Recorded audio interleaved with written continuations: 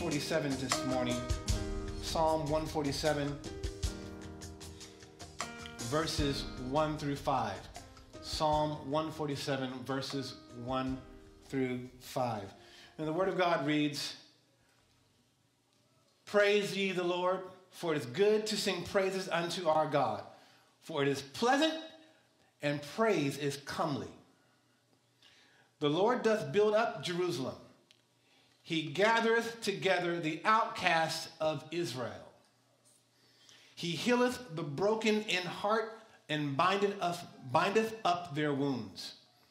He telleth the number of the stars. He calleth them by all, all by their names. Great is our Lord, and of great power. His understanding is infinite. I want to speak to you today from the title, um, The Need for Healing. The Need for Healing. Amen?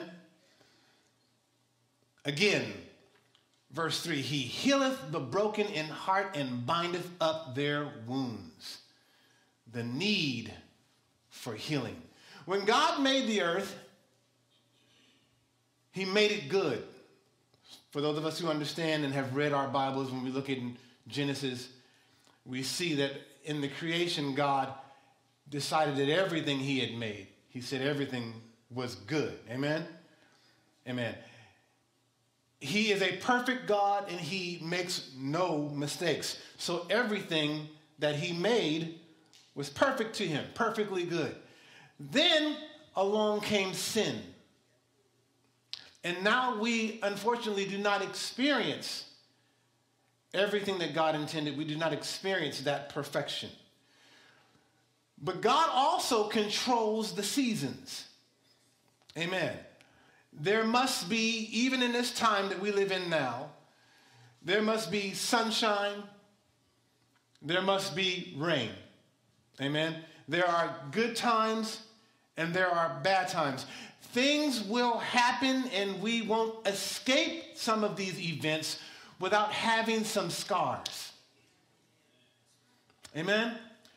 Now, God could have decided, you know, to allow us to bypass the effects of sins, but He didn't.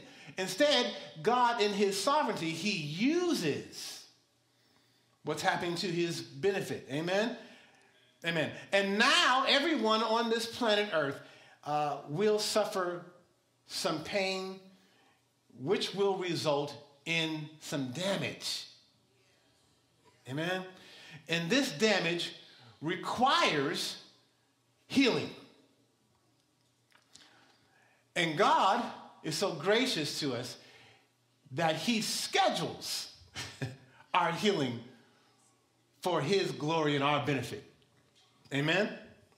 Ecclesiastes 3 1 through 3. Ecclesiastes 3 1 through 3. Help me, Holy Spirit. The Word of God reads To everything there is a season, and a time and every purpose under the heaven. A time to be born, and a time to die. A time to plant, and a time to pluck up that which is planted. And I've often thought that this passage um, spoke of what we are experiencing and what we are dealing with or what we are to do. Uh, I've not always looked at this passage in a way to where um, we would see what God is doing and God is controlling. Amen? Uh, and verse 3 says, There's a time to kill and a time to heal, a time to break down, and a time to build up. Eh, some people, if you're like me, will use this scripture as an excuse um, to allow your anger to fester. A time to kill, time to bust a cap in somebody if they, you know, have gotten out of, out of hand. We have some saints in here who believe in that, some saints that own guns, and I know you're here. Amen. Praise the Lord. Amen. Amen. but this is really not about capital punishment or God giving a green light, you know, to take somebody out or, you know, justifying self defense or war. It's really not about that. Solomon is saying that God allows death, time to kill. That death and destruction are unavoidable aspects of life. Hmm. People will die, and others that witness that death, though they are still alive, will need to heal from that loss. Time to kill and time to heal. Very different than how I thought. Amen? There's a time to be born and a time to die. There's a time to kill, but there's also a time to heal and time to rebuild. And God is our healer. Amen? When you get into a car accident, if the car is not what we call totaled out, which means it's, you know, completely gone, can't do anything with it, there's still damage. Amen? Uh, after the car accident, you may have a car that's operational, but it's not fully functional. Amen? And the only way to get it back to its fully functional position or state is to take the car in for repairs. Amen. There must be a time, even for the believer, for that you set aside to repair. Amen? Amen. And just like God allows certain things to happen that we don't want or we would never anticipate happening in our lives, there are damages that, you know, we, we, we, we suffer damages because of those things. And God also, even though He allows those times where damages occur, He also schedules, makes time for healing so that He can fix what's broken in us. Amen? Amen. To know God is to know his character. To know his character is to know him as a healer. Amen.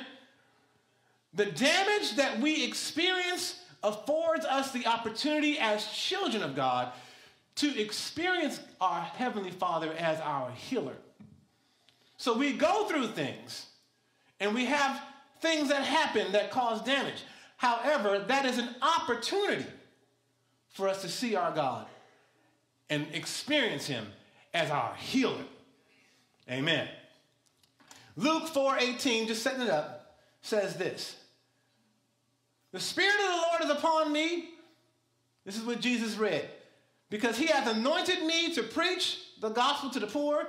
He has sent me to heal the brokenhearted, to preach deliverance to the captives and recovering of sight to the blind, to set at liberty them that are bruised. Here's the thought Jesus came to save. He came to preach the gospel to the poor. Jesus is saying that he gives the gospel to those who recognize and are aware of their spiritual poverty, their bankruptcy.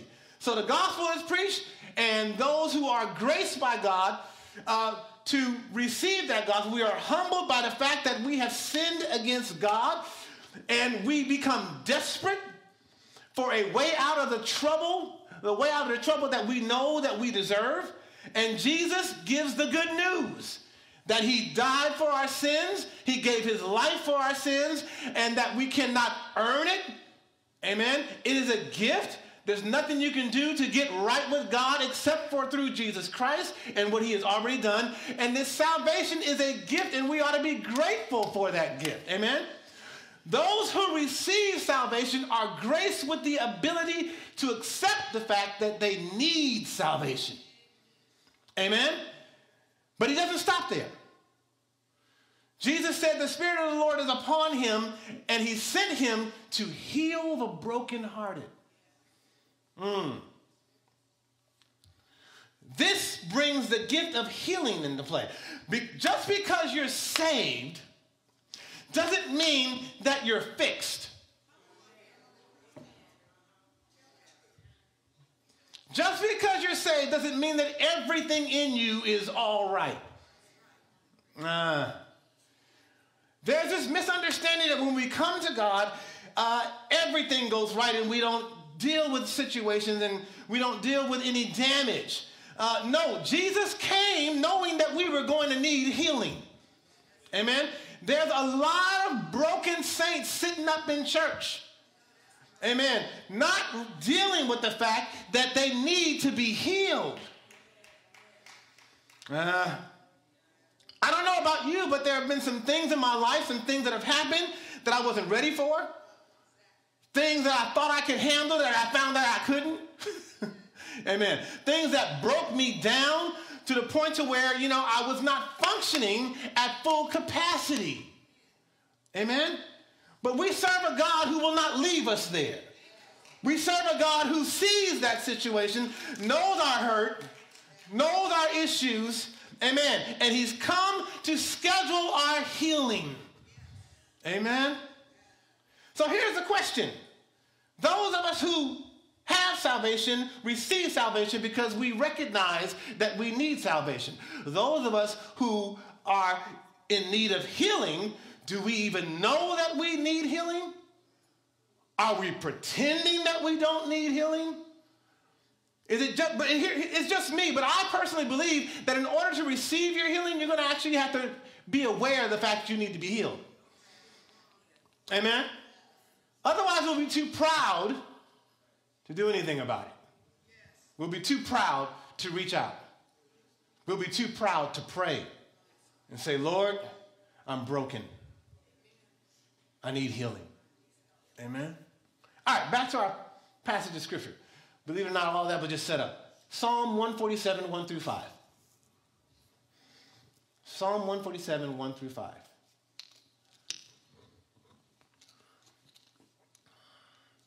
Help me, Lord. The Word of God says, Praise ye the Lord, verse 1. Praise ye the Lord, for it is good to sing praises unto our God. For it is pleasant, and praise is comely. It's right to praise the Lord. It's good for us to praise the Lord. It is, it is proper. Amen? For us to praise the Lord. Praise looks good on you because that's what we're here to do. We are here to give God praise. Why? Because God is good. Amen. God is merciful. God extends his kindness, his gentleness, his faithfulness to those he loves. And he is to be praised simply because of the fact, because God is good, but he gives that mercy and that kindness to folks who are not good. Amen. So the deal is, is we praise God simply out of the fact that we don't deserve this goodness and this kindness that he constantly extends to us. I don't know about you, but if I don't have something and I'm in need of something and somebody gives me something, even though I don't deserve that something, I'm going to praise him. Are you hearing me? Because God has been that good. He's been that merciful. He's been that kind. He extends faithfulness and love to those who do not properly love him back. My goodness. Amen. So the least we could do is praise the Lord. Amen. Amen. Verse 2. Why are we praising God? Because the Lord doth build up Jerusalem. He gathereth together the outcast of Israel. This is mind boggling because, in context, what we're talking about here, the context of the scripture is saying that Israel is all over the place. They're broken up, they're scattered. Why are they scattered? They're scattered because they messed up. They blew it. Amen. The Lord doth build up Jerusalem. He rebuilt Jerusalem and is rebuilding Jerusalem here in this, in this context here, not because of some unfortunate disaster, not because there was an earthquake or a tsunami, no, they're being rebuilt because there was rebellion. Amen? They sinned against a holy God, and there were consequences. They messed up, so now they are dealing with the damages and in need of repair. Amen. Some of our choices cause damage. Amen. And now we need to be healed. Amen. And then verse 3 says, He healeth the broken in heart and bindeth up their wounds. The amazing thing here is that God sees all this rebellion from Jerusalem and Israel and all the damages, and in spite of all the wrongdoing, he comes in because he's loving and faithful and he rebuilds, he heals. Amen. This is God doing his healing work on people who have rebelled against him. Not giving you what you deserve, not leaving you where you deserve to be left at, but because of his kindness and his mercy and his love for his children, knowing good and well we don't deserve it, he heals us anyway. My goodness. Our God is a healer. There's a need for healing. Why? Because, yeah, I blew it. I blew it. I messed up. Amen. Verse 4 He telleth the number of the stars. Now, this seems like it's just out of context. It's like, wait, we're talking about, you know, we need to praise the Lord and there needs to be singing unto the Lord. And, and, the Lord is rebuilding and gathering those who have been scattered, and then He heals the brokenhearted and, and bindeth up their wounds. And then He says He telleth the number of the stars. It seems like it's completely out of context. And like, when do we start talking about the stars? You know? He calleth them all by their names. Wow. Let me set this up. I got this from uh, this, I guess his name is, what is his name? Archibald. That's an interesting name. Archibald Brown. And he says this The way in which the tender compassion of the Lord is placed beside his infinite knowledge in verses 3 and 4 exclaim, causes him to exclaim. He says, Oh, Holy Spirit. With lowly reverence, we venture yet to say that thou hast never collected and put side by side two more exquisite statements than these. He healeth the broken heart, and he knoweth the number of the stars and their names. He's basically saying this, saints. With his healing hand, God has his hand on the broken heart, and God at the same time has his hand on the stars. God is not so far away and so distant that he can't hold the stars together and heal your broken heart at the same time. Whoa! He calleth them by name, by their own names. He knows all of them by name. He knows every single star. Yet he has the ability to keep track of all of that and keep all the details of my broken heart at the same time. He knows the name of the issues. He knows all my hurts. He knows all my pains. He's not so far away that he can't deal with me. Woo! Verse 5 says, Great is the Lord's power Great is the Lord, and of his great power and his understanding is infinite. He's powerful, he's all knowing, he's everywhere at the same time. You know, he's got one hand on the stars, and he holds the stars where they don't fall out the sky, and another hand, in that great hand that's holding the stars together, and he's got another gentle hand reaching into my heart, performing surgery on me. Yeah delicate surgery to the point to where it's like, you know what? I can do this and I can do this at the same time. My God. That's the kind of God we serve, saints. He knows everything we've been through. He knows you need to be fixed. He knows exactly when to start and schedule an operation. He has perfect timing. He's the perfect surgeon. He specializes in healing Woo! healing the brokenhearted. And he can do all that and keep the stars in the sky at the same time. It says in, I believe, Colossians, the first chapter, in him all things consist. Jesus is holding things together. He's holding it all together. And the truth is, is he's been holding me and you together. all these years, hasn't he? Huh? All these years. Isaiah 57, 15. Isaiah 57, 15. Just a few more scriptures and I'll be out of your way. For thus saith the high and lofty one that inhabiteth in eternity, whose name is holy. I dwell in the high and holy place. Phew, with him also that is of a contrite heart and a humble spirit, to revive the spirit of the humble and to revive the heart of the contrite ones. God is everywhere.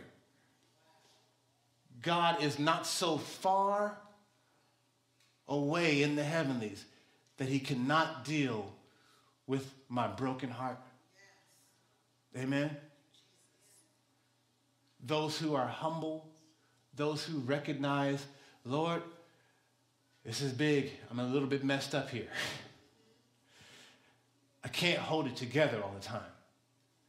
I can't keep it together. There are some things we go through that causes us to be humble. And in those times, we can tend to think that God is so far away. The truth is, is no, no, I dwell in the heavenlies, but I also dwell with those who are humble, who are going through, who are broken. Amen? Amen. I can deal with all of that. So when you feel like he's not working, he is. when you think that he's not on the case, he is. Amen. I may not feel like he's making any changes. Oh, but he is. When is God not working? When is God not healing? When is God not saving? When is God not sanctifying? When is God not lifting you up? Amen? When I think that he's changed his mind, he hasn't. When I think that he's forgotten about me, he hasn't. Amen? When I think he took a break, he didn't. God is working on you right now. Every chapter, every page of your book, he knows it all from the beginning to the end and every line all the way through. He's written it all out for you. Amen? He's concerned about every detail, every pain, every hurt, every issue. He's working. Amen? Word of God says in verse 2, go back to 147 and 2 one more time, and I'm going to close this out.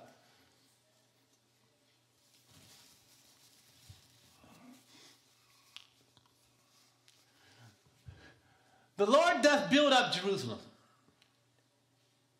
He gathers together the outcasts of Israel. That word build is really rebuilt. As I said before, if we look at it again, it's really he's rebuilding because some of the things that we have done, saints, if we're honest, it caused damage in our life. Amen.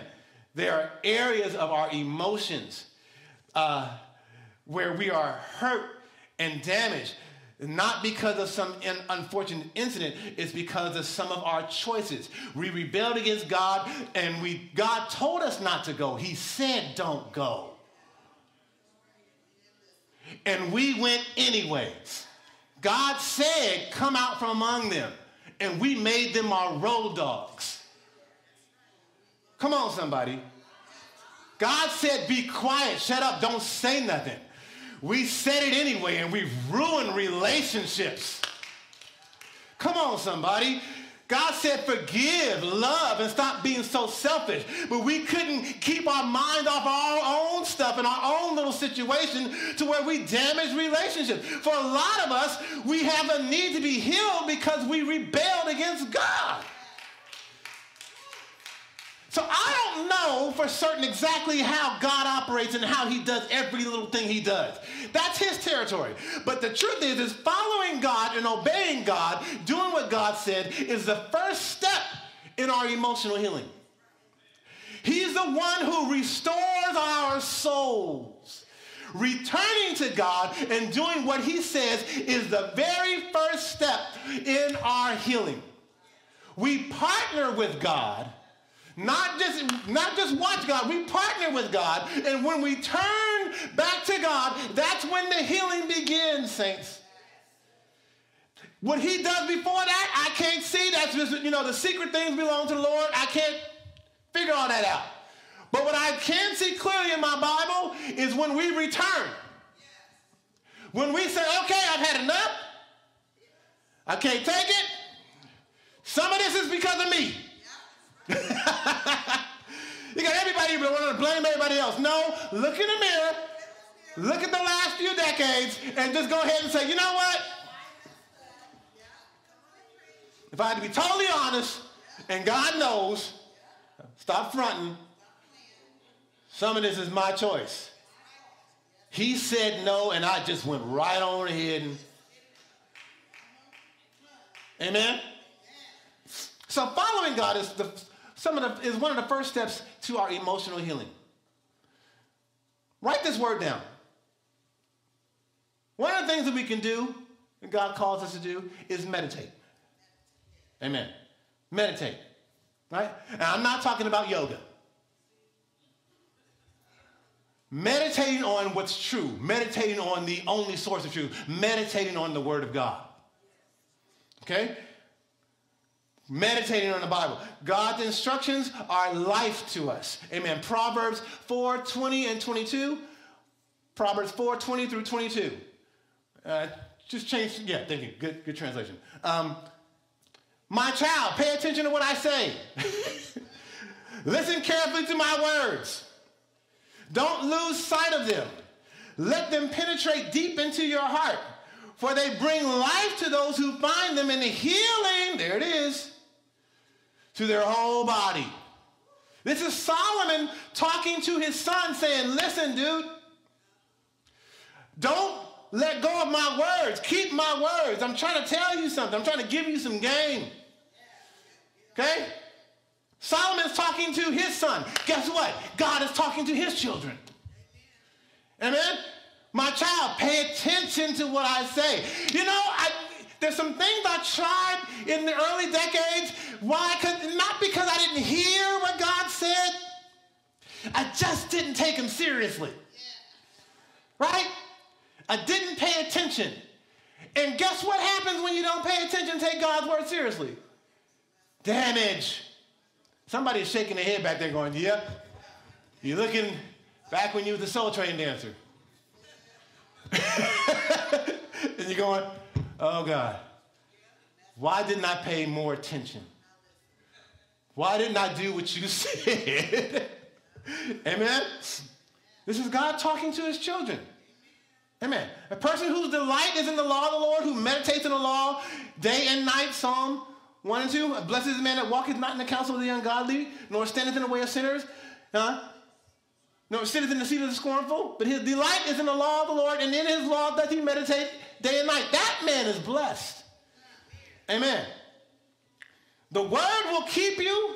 The word will inform you on what to do and what not to do. Uh-huh. The word will tell you what to cling to and what to let go of, what to stay away from. Come on, somebody. It also tells you when you're off track. Amen. I can what? Return to my healer. Amen. These are just simple things. Next thing, the word also will tell you to confess your sins. Amen. Name them specifically. You know, I may not, you know, I may be in a prayer call with somebody and be like, you know, let's, let's pray. And I say, Lord, forgive me my sins. S. Then I go in my prayer closet and say, now what I was saying. is, is XYZ, one, two, three, QRS, all of that. These are the personal things I was embarrassed to say it on the prayer line. There was too many people on the call. But, but this is what I'm talking about. Lord, you already know. I'm going to confess those things before you. Amen. Amen. You know, 1 John 1 and 9. You know, if we confess our sins, he is faithful and just to forgive us our sins and to cleanse us of all unrighteousness. Amen. Amen. All right, just simple, okay? Meditate on the word. The word causes you to know where you're off track. Amen. The word will cause you and tell you, listen, you need to confess this stuff. This now that you know, confess it to God. Let's bring it out in the open. All right? That's two. Then number three, take control of your thoughts. The healing that we need requires that we take control of what we're thinking. Better yet, let the Holy Spirit take control of what you're thinking. Amen. In the Spirit, we are to take captive every thought and make it obedient to Christ. Amen. Everything, every everything that exalts itself against the knowledge of God. We got philosophy and things that we hear from everybody else that says, well, this will fix you, this will fix you, this will fix you, this will help you. If you do this, this will do that. Everybody's super smart. And some of this stuff is not working. Amen. He's saying, go back to the Word of God. Ask, it, ask the Lord, does that agree with what I'm saying? Is that what Jesus is saying? Amen. And then we take, you know, control of our thoughts, the things that we think about on a daily basis. You know, Philippians 4, 8 through 9. Philippians 4, 8 through 9. And now, brothers and sisters, brothers and sisters, one final thing fix your thoughts on what is true, what is honorable, what is right, what is pure, what is lovely, what is, what is admirable. Think about these things that are excellent and worthy of praise, putting into practice all that you learned and received from me, everything you heard from me and saw me doing, then the God of peace will be with you. I was reading um, some devotion. I have a couple of devotions I use, and somebody was saying, you know, if I busy myself with holy things, if I busy my mind with what God wants me to be focused on, then there's a good chance I will not find the time to get into the other things. Are you hearing me? If I take my mind off of, of, of, me and what I'm thinking, maybe I can go bless somebody else. That's a holy thing to be doing. You know, don't just think about yourself. That's when you start getting into trouble. I need, I need, I want, I want, I want. Before you know it, you are way off, off track. God, what do you want me to do today? What do you want me to think about today? How, what is my day supposed to look like today? What if, you know, I was thinking, Jamie, you wouldn't be tripping off you today. I was thinking you go help somebody. What? I was thinking you show some love. I was thinking you go down and spend some more time with your kids. Are you hearing me? I was thinking you call that church member you ain't seen in a minute. Holy things. Before you know it, your day is gone. What you do? I just served Jesus all day. I just got, oh, I was busy. I was just busy being holy. Isn't that interesting? What a concept. Huh? What is this? This is healing. What is he doing? He's putting us back on track. Getting us off of where we were and what we, our selfish motives, our selfish ideas, our, our thoughts that can, can turn carnal in a moment's notice. So what he's doing is he's redirecting us. I made you, I saved you, I have a purpose for your life. And the purpose that I have for you, Jamie, is not you fulfilling every desire and all kinds of things that you want. You getting all the attention, you getting all the praise, you getting all the glory, you getting all the whatever it is. You... No, that's not it. So I don't know exactly what the Lord does to operate on us, but there are some things that we do to partner with Him. Some very practical things that we do. And if we stay consistent in those things, we will be on our way to our healing. Because I can't, I tell you, I, there's some things that the Lord has done in me, I don't even know how He did it. I, you know, I was into something or messed up on something or couldn't get over something, and the Lord just, one day I looked back and was like, whoa, I'm over it. I don't know what He did. But what I'm talking about is what we do. There's some very practical things that we do. Amen? Emotional healing is a process. It involves moment by moment choices to trust and obey the Lord with what He's told us to do. So here's the thing, and I'm almost done. Help me, Lord, say this right. I got a baby named Grace, and she's old enough for me to talk about her and not be mad just yet. There's a cutoff at six or seven, and you can't do it anymore at the pastor. I love baby Grace. She's around four years old. And every now and then she tries things. And the things that she tries, they don't always, they don't always work out. Okay? Uh, she has probably at least four accidents of some type a day where something went wrong and she comes crying to me about something. Some of this is due to just her being four and trying to figure out how to walk and not, you know, get on things. And there's some other things where, like, you know, I told you, sweetie, that chairs are for sitting, not dancing. If you dance on a chair, you're going to get hurt. You know? so some of it is rebellion. Some of it is what she heard me say, and she fell and hurt herself. And now she's coming crying. Amen? To her daddy. Now I'm the only parent in the house. There's only me now. So I'm getting a crash course in being strong, providing daddy, and nurturing daddy at the same time. I'm it. Amen? So I take care of laundry, I put food on the table, I do I drive the kids to all their appointments and everything I gotta do, you know, and still, in spite of all that high and lofty stuff that I gotta do, I have to also have my ear to baby Grace.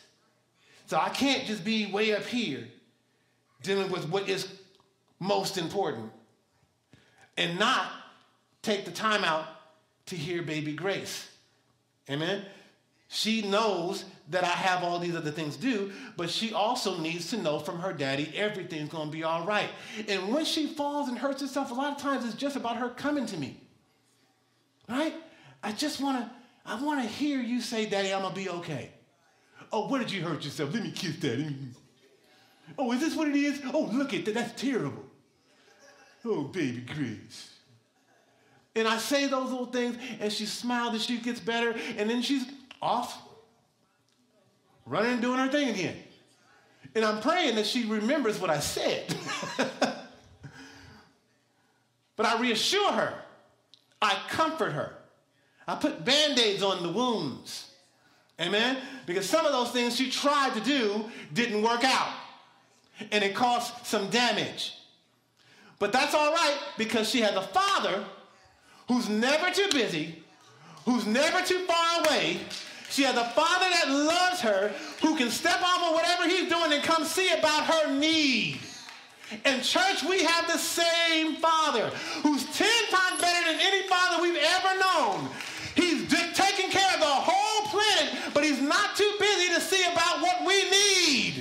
Because some of the things we tried didn't work out.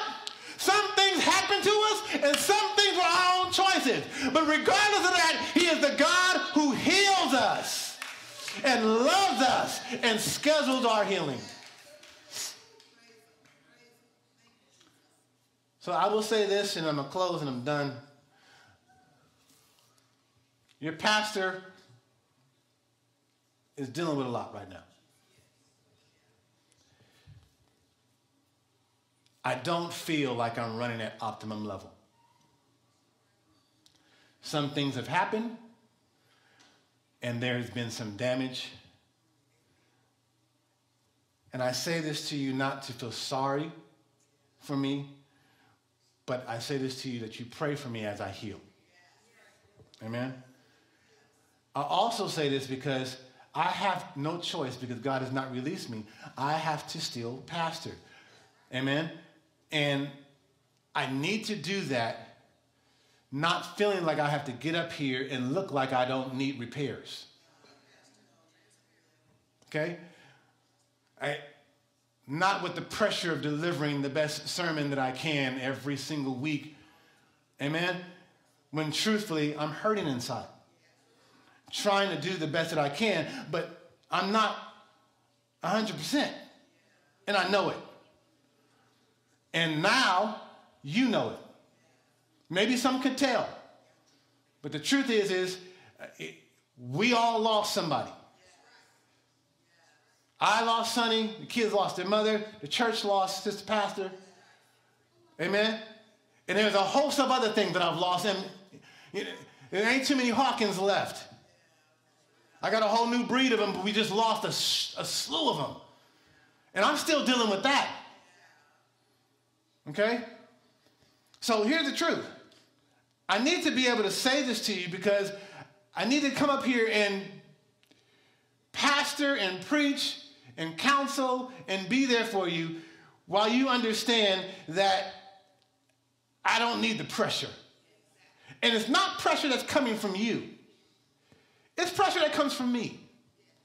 I don't feel like anybody in here is pressuring me. But I feel the pressure myself. Anybody understand that? You know, is that okay with you if I'm just purely honest with you? Do I have permission to heal in front of you? Amen.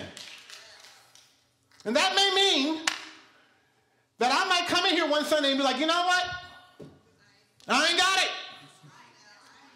But the Holy Spirit is here. And if all we can do is pray, and so I feel you, Pastor Rick. You know, sometimes we got to get quiet and see what the Holy Spirit wants to do with His church. Amen. Is that okay? But I know I'm not alone in this. I know that several of you are hurting too. And I want to tell you it's okay to not be at 100%. You don't have to be on it right now. There has been damage from various things that you've gone through. Give yourself permission to take the pressure off yourself and go to God and say, Lord, I need some repair. Amen? Does anybody else feel that? Is it just me? Can you do me a favor? We're going to come down here, Pastor, come on. And if you're like me and you recognize you have some repair jobs that's been, you know, that you're waiting on the Lord to do, you come down here and pray with me. Some losses. So, come on. Is it just me? I don't think it's just me.